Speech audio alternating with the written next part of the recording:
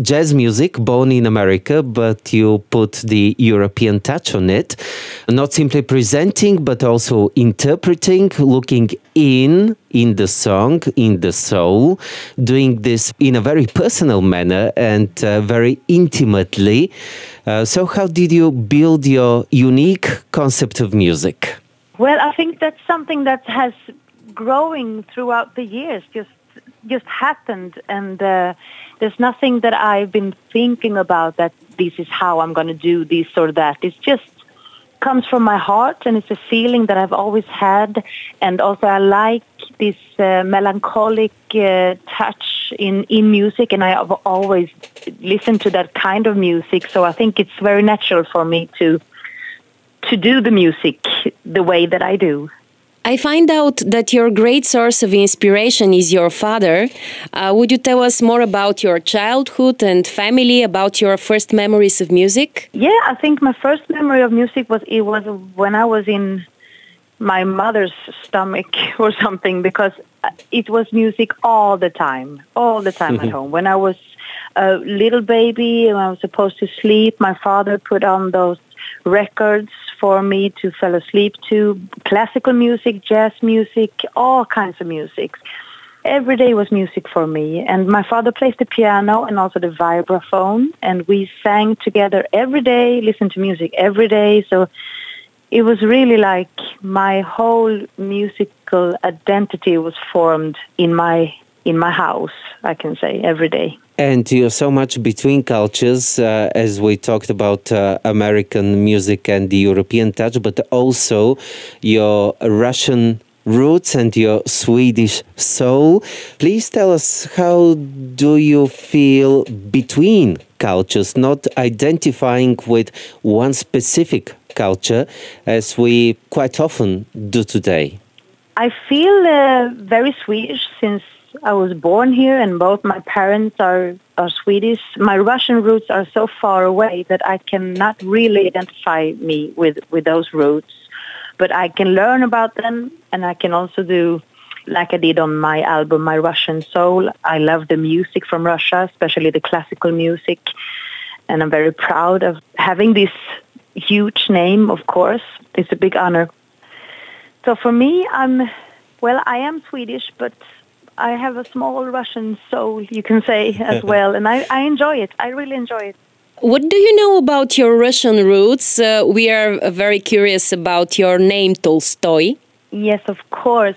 I understand that you are. My grandfather's father was Leo Tolstoy. So it's quite close, I think. It's uh, My grandfather sat in Leo Tolstoy's lab. And I also been to Yasna Polyana, visiting his uh, house and his grave uh, with all the Tolstoy family, and also to Moskva many times for the museum there, and uh, had a lot of of concerts in in uh, in, in the Moskva as well. So yeah, it's it's great. What of his humanism and of his knowledge of the human soul is there in you? Very often in your songs, there is this topic, and it is also on your heart of our interactions within society, but also the interaction between humans and nature. You're kind of introspective about this. Uh, so, how do you feel that the roots actually take part in this process? Yeah, that's actually true, and I, I, I really I haven't thought about it that way, but it's it's uh, actually my music reflects very much his soul and his way of, of being a, human being. And also, I, am thinking about it, especially nowadays, that I wish that he could have been here today to, to teach people how to treat each other in this situation that we are in right now in Europe. And I think that his humanity and his will to to help the poor and to you know give his, his love and give away all his uh, belongings for the for the needed is it's a very nice very nice thing and it's as I said it's it's uh, needed today as well. Earlier, you said that uh, music comes from your heart, but it is quite difficult to keep our hearts clean nowadays. So, how is this cruel world of today not too hard for the tender soul and for the, well, sincere heart?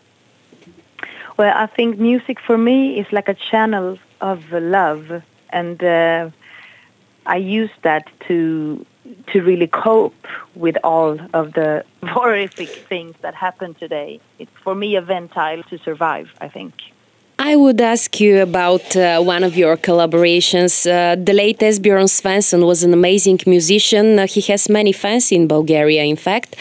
How did you meet him and how did you start working together? And what is your most striking memory of him? I met him at first, it was 1994 uh, long time ago and we we played at the same festival and we heard each other and there we decided that we should do something together.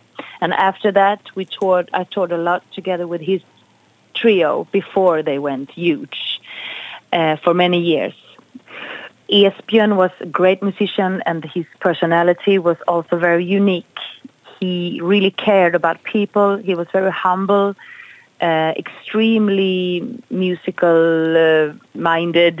he had very big ears, very unique in that way. To sing with him was like complete freedom. It was a challenge and at the same time very, very freedom wise. So yeah, he, he was very unique. Yes, absolutely. Uh, he was absolutely great.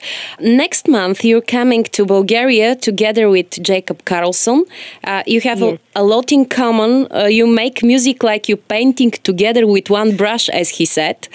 Uh, yeah. But uh, how how do you overcome your differences, and uh, what do you argue about most with him? I never argue with him. Boring we've known each other now it's like 20 years and we are like uh, both uh, private and musically we have this telepathic thing going on.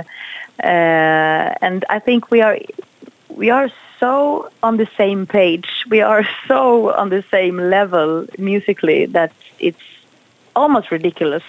We just laugh and look at each other and say, okay, what happened there? I have no idea, but we did the same thing at the exact same time. How is that possible? And it's like always shocking each other. And we never cease to, to amaze each other. I think that's great. After 20 years, we still challenge each other every time we have a concert. And how is this possible to find this soulmate and such a perfect partner for music? I have no idea. It's just happened. It was actually from from the very beginning. It has been like this. So it's it's nothing really that developed. Of course, it has developed, but I mean, the feeling that we have for music it's it has always been the same. Uh, we have always been on the same page. Yeah. This edition of the festival you'll take part here in Bulgaria, Plovdiv Jazz Fest, is dedicated to vocal jazz. There is a strong vocal tradition in jazz. How did you find your own voice as a singer? I don't stay on stage and think now I have to be unique or now I have to be have my own sound I think the less you think of being unique, the more unique you are. You, you know, I'm just who I am, and I am the same person when I'm when I'm private. I'm the same on stage. I don't play a game. I don't play theater when I'm stage. I really am who I am. I'm the same person here talking to you as I am on stage. Very spontaneous and very, you know, just just me. So it's yeah, it's hard to explain because it's just my feeling and just it's just the way I act, the way I am. I don't know. it's difficult. I think maybe yeah. this is the essence of art. I, I don't know. I, I feel it that way. Yeah, it's the way who I, I am. Yeah. Yes. and uh, Scandinavian music is known for its beauty and melancholy. You have beautiful voices, amazing writers and artists, uh, great designers. Uh, what makes art from this part of the world so special? Yeah. Um, well, the nature here is amazing. Yeah, the landscapes and the Well, it, it's it's beautiful, and I think that that we inspire from that the the whole environment that we live in, and also from the folk music. It's a traditional thing that it had always been sounded a certain way for for so long, and I think we are adapting from folk music a lot in our music. Either we play jazz or pop or rock. It's always this tradition that's so deeply buried in us here. I think. When you started uh, singing, is there something that you felt that art cannot do, but then actually art did? as expression of feelings, as uh, communication with people, as changing people's lives, or whatever, something that you originally felt was beyond music, but then life proved it otherwise? Hmm. Well, that's a difficult question. I don't know. Uh, I think that music can overcome everything as long as people are open minded. I know there are a lot of people that doesn't think so, that they think that culture is not necessary in their lives. And uh, I think that culture, especially music, can actually heal people and heal depressions and uh, you know all kinds of mental illnesses if they only let them.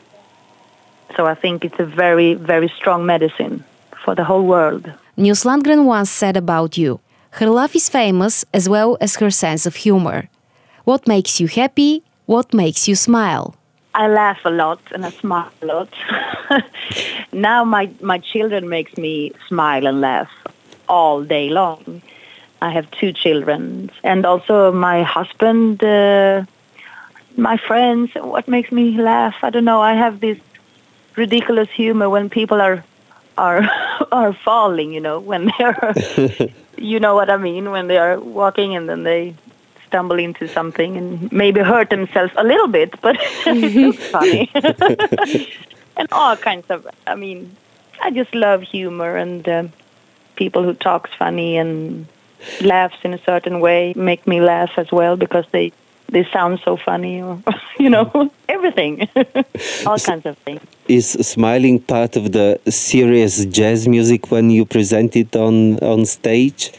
Uh, yeah i mean smiling and also a little bit of of crying.